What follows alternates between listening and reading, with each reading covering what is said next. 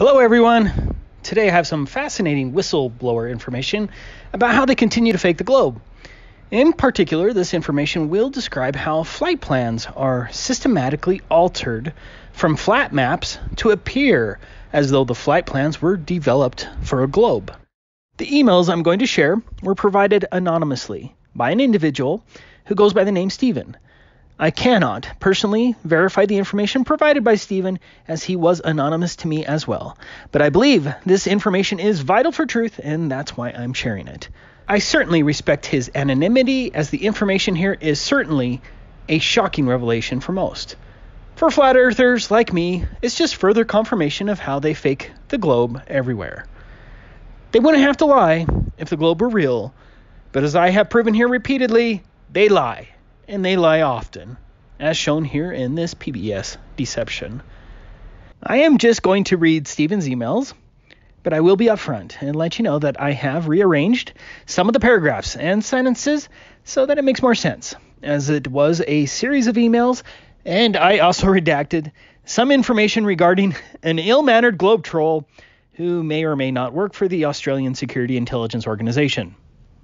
Again, if you are a globe skeptic and have inside information regarding our flat earth, please email me at tabooconspiracy at gmail.com.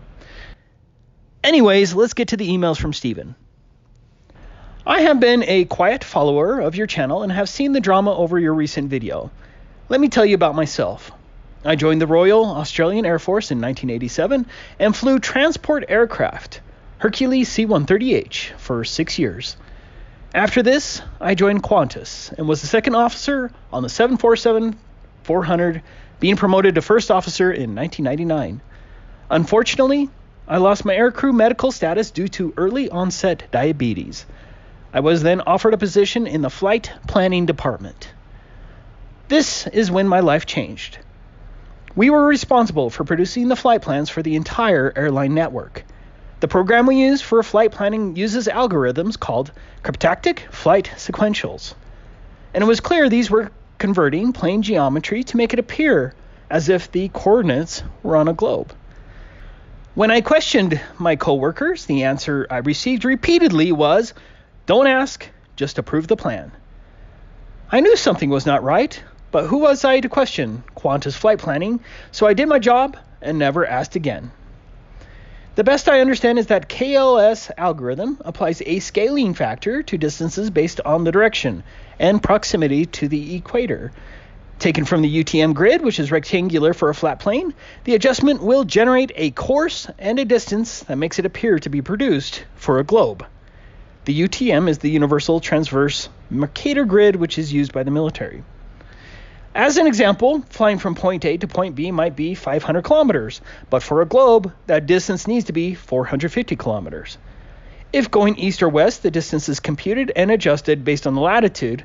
When flying north or south, the distances don't require this adjustment.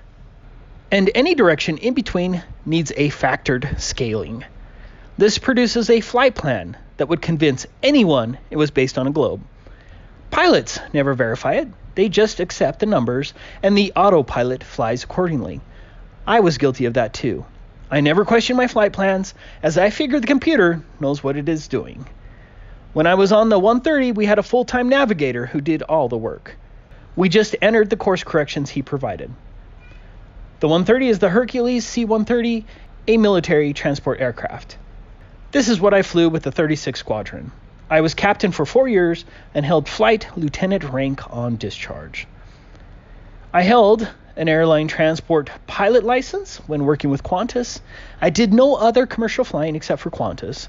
I joined Qantas at the end of 1994 and five years later attained first officer rank. That is normal for the promotion rate at the time.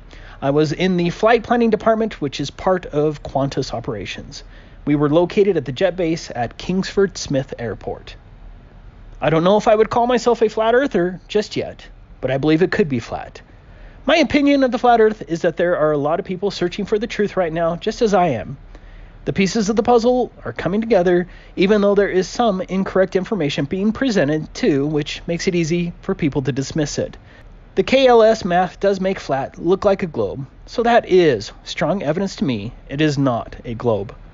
In May this year, I was laid off due to the cutbacks from the alleged virus. Contrary to being disappointed, I feel this has set me free. I have no reason not to talk about it. The cryptactic flight sequentials are the key. I cannot find anything about them doing independent research, but this is what they were called within the Qantas Flight Planning Department. I no longer have access to the flight planning systems, but can tell you more about the algorithms. I had to sign a non disclosure confidentiality agreement, so I don't want to be identified. I hope you understand. That's it for the emails. Use your own judgment in determining whether Stephen was telling the truth. If I obtain any more information, I will try to keep you updated. Thank you for watching.